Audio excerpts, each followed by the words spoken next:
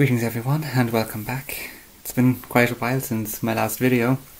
Things have been fairly busy in this part of town, but unfortunately uh, I haven't been able to keep up with videos and articles on my website. So hopefully I'll get around to creating content more frequently from here on out.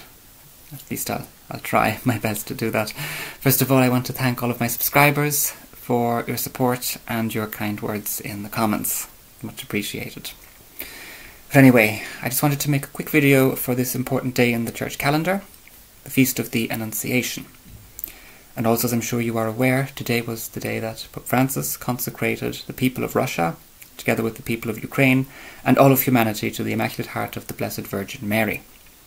Whether this was in line with Our Lady's request at Fatima is, of course, a huge matter of contention within the Church, uh, which it has been for several decades.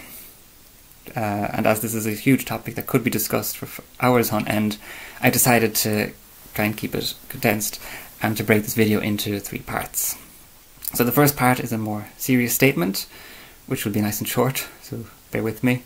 In the second part, I'm going to give some personal commentary on the consecration itself, as it occurred in St. Peter's Basilica in Rome earlier today. And in the third part, I want to conclude with today's Gospel reading, St. Luke's account of the Annunciation, and leave you with another book recommendation uh, that might be of interest to you. The Church, at least within living memory, seems to be the most divided she has ever been since the disgraceful Western Schism of the 14th century. It appears that whenever something faith related enters the public arena, arguments, infighting, and upset abound within an already heavily divided and increasingly uncharitable church. Members of the church, I should say. It is the members of the church who are upset, divided, and in some cases uncharitable. The church herself, however, which was founded by our Lord Jesus Christ almost 2,000 years ago, is by definition one, holy, Catholic, and apostolic. And no man, be he a sinner or a saint, is ever going to change that. In relation to today's consecration, I do hope and pray that it will have the desired effect, and that many graces, or even one grace at least, will flow from it. However, I fear that it will nevertheless, and indeed already has, proven to be yet another cause of contention and division within Holy Mother Church. On one end, you have those who were sceptical and cynical from the moment this consecration was announced. And on the other hand, you have those who, without question, saw in this consecration the long awaited answer to their prayers. Within both groups, you have those for whom Pope Francis can do no right and those for whom Pope Francis can do no wrong. What I personally think and hold about the current pontificate is irrelevant.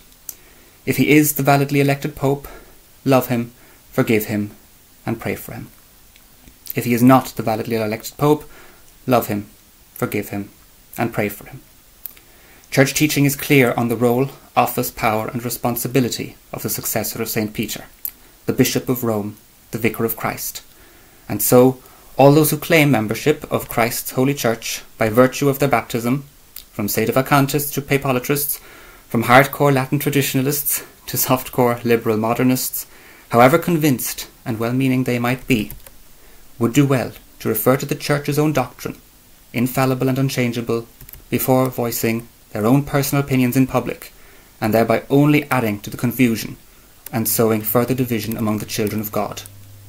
Our time would be better spent reading the Bible, studying the Catechism, and praying the Rosary. now, with that out of the way, let us move to the consecration ceremony itself, which was led by Pope Francis in St. Peter's Basilica uh, this af- afternoon. These are all just my own personal opinions on the event, based off of memory. I haven't rewatched any of it since, so there may be many, few, bits and pieces that I missed or remember incorrectly. So apologies in advance for that. Also, you might very well disagree with what I have to say, and that's fine. This isn't dogma, it's not scripture, it's just an opinion. So take it or leave it, uh, just don't be too harsh in the comments. Thank you. We'll start off with the layout and decorations. At least from what I could see, there was nothing blatantly pagan, blasphemous, or contentious in sight. The only thing I personally felt a little uneasy about was the crucifix and the way in which our Lord was depicted on it. I don't know who the artist was or when it was made or why this particular one was chosen. If it were up to me, I would have chosen a different one, but again, that's just my own opinion. By the way, I watched it on the Vatican Media YouTube channel with English commentary.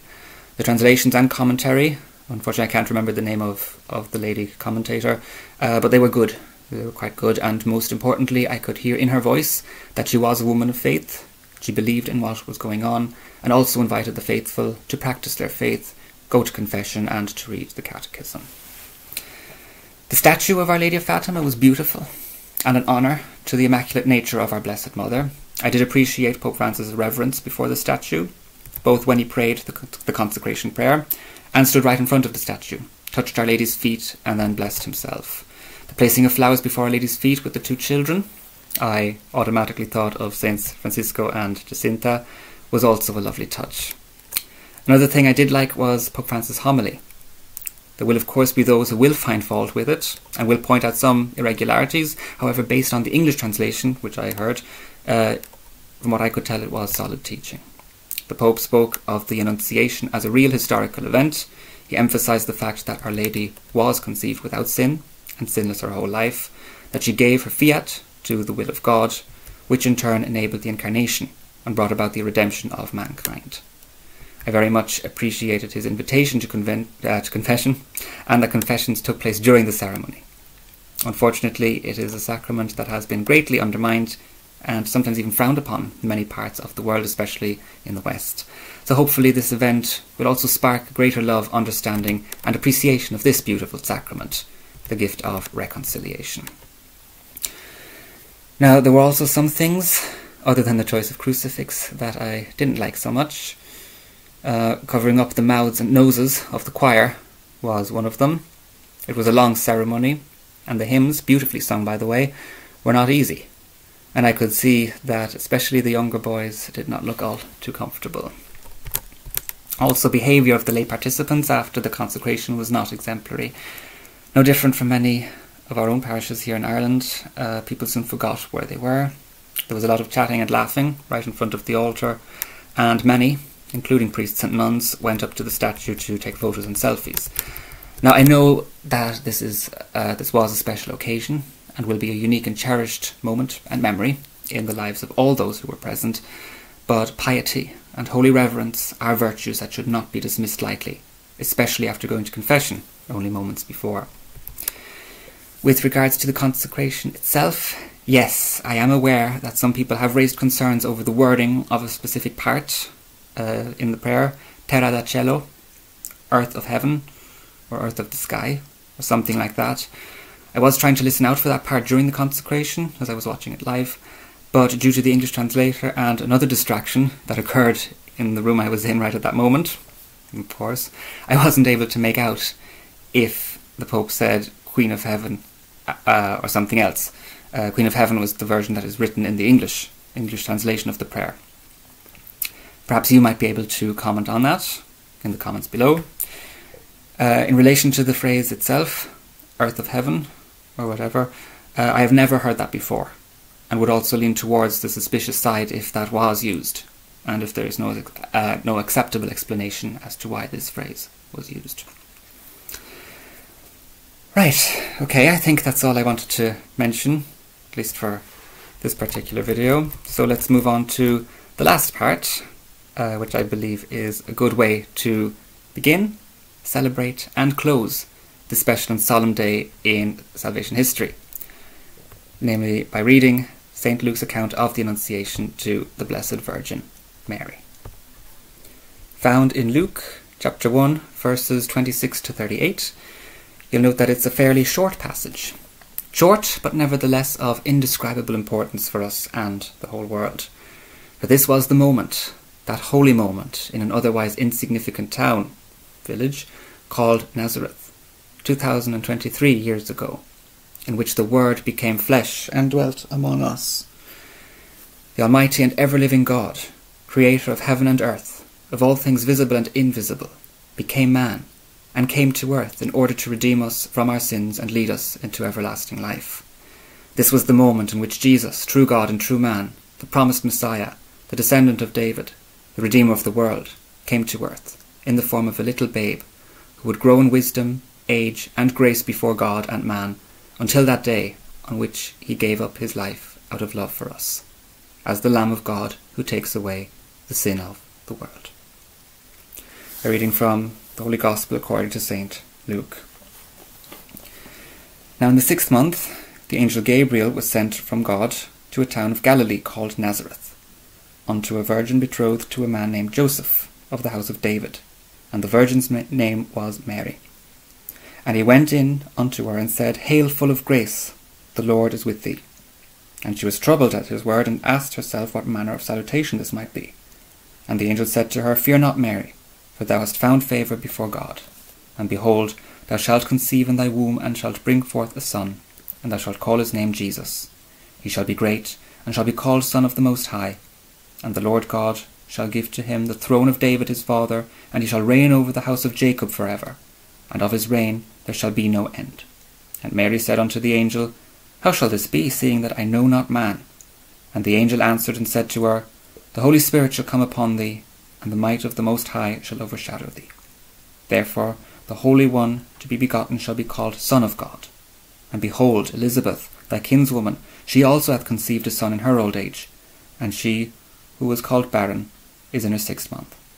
For naught shall be impossible with God. And Mary said, Behold the handmaid of the Lord, be it done to me according to thy word. And the angel departed from her. The Gospel of the Lord. Our Lady of Fatima, pray for us. If you recall, I made a video at the end of January with some book recommendations. Of course, I have entire bookshelves full of books which I would highly recommend, but I chose those ones in particular for the purpose of that video. However, here's another book I would highly recommend. Uh, it's a collection of 15 encyclicals by Pope Leo XIII, perhaps one of the greatest and best popes we have ever had. Again, that's my, my own opinion. But this book, a collection of church teaching, is definitely a must read. The subjects of these encyclicals are as wide ranging as they are illuminating. He talks about the evils of society, Christian philosophy, Christian marriage, Christians as citizens, Freemasonry, socialism and capitalism, and perhaps his most famous encyclical, Rerum Novarum, study of Holy Scripture, the Holy Spirit, and the Holy Eucharist, and much more. So again, that's the, the Leonine encyclicals, collection of Pope Leo XIII's most indispensable encyclicals. And if you're looking for something to help you navigate the Bible, in particular the Old Testament, again I would refer you to my own book, Inspired and Inerrant, a new guide to the Old Testament, available in paperback and Kindle edition on Amazon. Or if you're look, uh, if you're looking, if you're residing in Ireland, you can contact me via my website, and I will try and get one to you. Links in the description below. And finally, sorry, this last announcement, my next novel, the second part in the Taraxacum trilogy, is almost ready and will hopefully be published shortly after Easter. More updates to follow. And with that, thank you for watching, and I hope you got something useful out of this video, and with the help of God, I will see you, or rather, you will see me, in the next video. Take care, and God bless.